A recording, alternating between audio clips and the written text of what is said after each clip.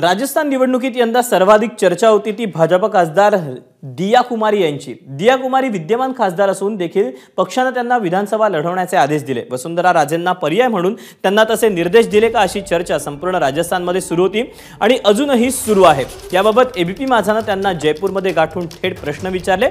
त्यांच्याशी संवाद साधलेला आहे आमच्या प्रतिनिधीनं आपण पाहूया.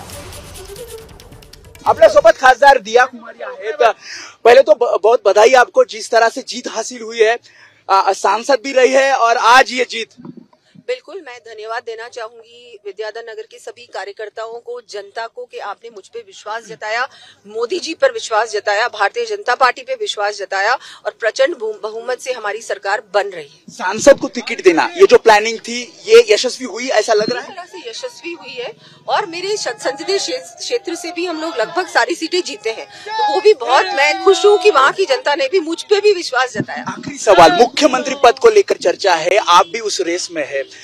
वसुंधरा राजे जी अब- अभी पत्रकार परिषद ली उन्होंने कहा कि ये तो पक्ष तय करेगा। क्या आपकी राय है? कौन है चेहरा?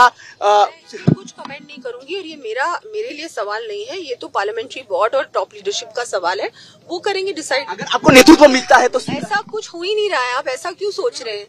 सी कोई बात. ठीक आहे. ठीक आहे. त्यामुळे या होत्या खासदार दिया कुमार त्यांनी सांगितलं की पक्षश्रेष्ठी पार्लमेंटरी बोर्ड ठरवेल की नेतृत्व राजस्थानचं नेमकं कोण करणार? मात्र मुख्यमंत्री पदाच्या शर्यतीमध्ये तिसरं नाव हे खासदार दिया कुमार यांचं आहे. कारण खासदार असताना ज्या प्रकारे त्यांनी सांगितलं विद्याधर नगर मधनं त्यांना हे तिकीट देण्यात आलं होतं.